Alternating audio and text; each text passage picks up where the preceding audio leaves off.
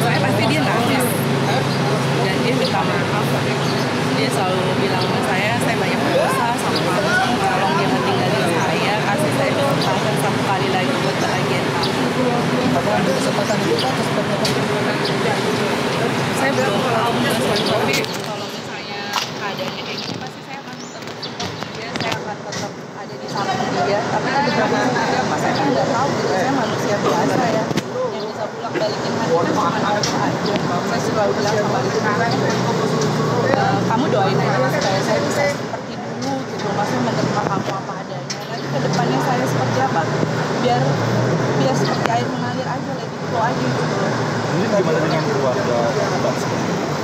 Keluarga saya sih terutama ibu saya saat pertama kali Rio ditangkap pas saya sampai rumah ibu saya bilang udahlah kamu tinggalin aja gitu. Eh, laki-laki masih banyak masih masih eh, banyak kok yang mau sama kamu gitu kan. Udah kamu tinggalin aja tapi kan itu namanya bentuk eh, apa ya bentuk ibu saya tuh kecewa gitu kan. Wajar lah emosional gitu. Tapi udah ke sini sininya semua keputusan di tangan saya. Tapi kalau tinggal sendiri kan apakah kamu mempertahankan. Saya bertolak ya maksudnya saya kadang aduh saya tinggalin aja deh gitu kan saya nggak kuat gitu. Tapi lagi-lagi aduh ini suami saya gitu jadi masih yang dibilang labil saya labil banget gitu mungkin kalau perempuan lain gitu kayak eh, siapa gitu kan ada di posisi saya pasti juga akan sama ya sikapnya sama saya gitu kan kadang saya kuat kadang saya enggak gitu cuman kan saya berusaha kuat aja di depan publik nggak mungkin dong saya terus-terusan saya terpuruk saya nangis tiap hari kan nggak ada solusi saya kecolongan dan saya kecewa banget saya ngerasa dibohongin gitu. Kok saya dibohongin sama eh, suami sendiri gitu kan? Kok kayak gini banget sih gitu? Janjinya tuh cuma janji-janji palsu gitu kan? Bullshit banget gitu kan?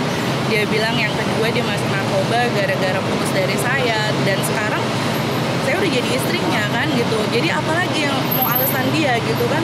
Dia bilang banyak masalah. Kalau misalnya banyak masalah yang depresi harusnya saya gitu. Orang saya juga lagi ngurusin Polda gitu kan teman-teman media juga tahu kan semua apa eh, orang-orang juga tahu saya lagi ketipu gitu kan. Jadi saya nggak tahu gitu makanya saya selalu bilang sama eh, polisi gitu kan sama publik semuanya saya pengen suami saya direhab gitu supaya sembuh gitu kan. Karena dua tahun eh, kasusnya Rio itu kan sorry bukan dua tahun maksudnya dua kali kasusnya Rio itu kan dia ditahan ya gitu loh rehab gitu loh kalau orang sakit itu kan harus dikasih obat harus disembuhin makanya saya selalu bilang saya minta suami saya direhab gitu saya minta doanya dia sama teman media sama semua masyarakat Indonesia gitu kan Tapi eh, Rio mungkin cerita tadi sempat bilang karena ada masalah akhirnya pelariannya ke narkoba. Apa sih yang diceritain sama dia eh, masalah apa gitu? Eh, saat ketemu sama saya sih dia cuma bilang eh, saya saya kurang iman aja gitu loh. Saya juga nggak bersyukur gitu kan saya kufur nikmat gitu. Saya bilang sama dia jadi manusia tuh banyak banyak bersyukur gitu jangan kufur nikmat. Saya selalu ucapin itu sama Rio Alhamdulillah Rio sehat baik gitu dan dia sudah lebih bisa beradaptasi maksudnya dia sudah bisa menerima lah Ini hari berapa Pak? Masih ketemu di sana. hari ke hari ke delapan atau sembilan gitu.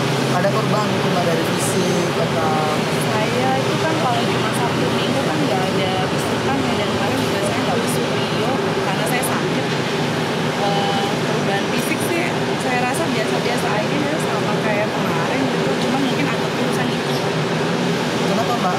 Resiko stres atau Eh, bohong lah kalau misalnya Rio nggak nggak stres bohong gitu kan saya saya bukan eh, harus nutup nutupin keadaan Rio gitu kan ya Rio pasti stres depresi pasti lah gitu kan Eh, merasa apa ya ya stres lah pasti ada minta diperiksa makanan atau apa gitu ada dia dari kemarin minta saya untuk masakin Rio. Tapi sayangnya belum belum bisa gitu buat masaknya memang kondisi badan saya juga kurang baik. Kemarin hari hari Selasa Rio udah dibawa ke BNP untuk assessment Uh, tinggal tunggu hasil asesmennya aja. Saya minta doanya aja. Mudah-mudahan Rio bisa direhab dan asesmennya disetujui Kira-kira berapa lama asesmen itu info um, Eh, tiga hari sampai satu minggu. Ini kan baru hari kedua ya.